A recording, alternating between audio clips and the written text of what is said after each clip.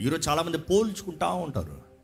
నేను వాళ్ళకన్నా బెటర్ నేను వీళ్ళకన్నా బెటర్ నేను వీళ్ళకన్నా బెటర్ దేవుని రాజ్యంలో ఉండే జ్ఞాపకం చేసుకోండి. దేవుని వెయిట్ దేవుని ఆజ్ఞలు తగినట్టుగా చూస్తే నువ్వు ఇంకోటి కన్నా మంచోడువా ఇంకోటి కన్నా చెడ్డోడువా కాదు. నువ్వు మంచోడువా చెడ్డోడువా? అంతే లా న్యాయం చేసావా అన్యాయం చేసావా? అంతే. కొంచెం న్యాయం కొంచెం అన్యాయం కాదు. తప్పు తప్పే. రైట్ రైటే వాడికన్నా రైట్ చేసావా వీడికన్నా మంచి చేసావా అనేది కాదు దేవుడు చూసేది. నీ జీవితము ఎలాగుంది? అది దేవుడు చూస్తున్నాడండి. దేవుని దృష్టిలో మీ జీవితం సరిగా ఉందా? That is what God wants to see ఇక్కడ ఈయన వచ్చి అంటున్నాడు అయ్యా నేను దొంగల్లా కాదయ్యా ఈ మోసగాళ్ళలా కాదయ్యా ఈ దరిద్రుల్లా కాదయ్యా ఈ లంచం తీసుకునే వాళ్ళ కాదయ్యా నేను వీళ్ళందరికన్నా బెటర్ అయ్యా. నేను ఏం చేస్తున్నాను? వారానికి రెండు సార్లు ఉపవాసం ఉంటున్నాను ఇంకా దశం అందులో నీకు ఇస్తున్నాను ఇంకా నేను కాబట్టి నీకు అన్ని చేస్తున్నాను.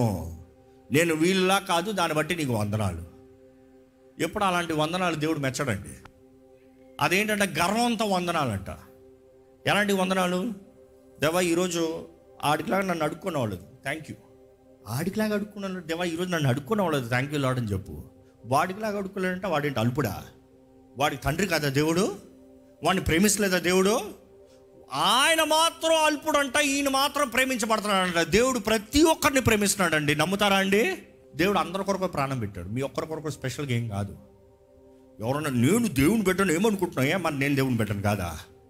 అది స్పిరిచువల్ ప్రైడ్ చాలామంది.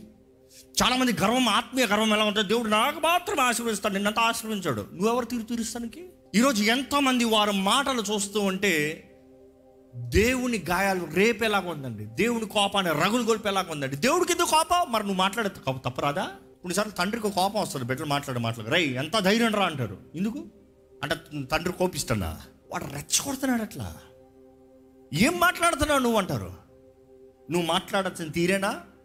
నువ్వు మాట్లాడాల్సిన పదజాలేనా ఈరోజు ఎంతోమంది పరమ తండ్రి అని మర్చిపోయి గర్విష్ఠుల్లాగా నీతిమంతులు తాము తాము నీతిమంతులుగా నిర్ణయించుకుంటారండి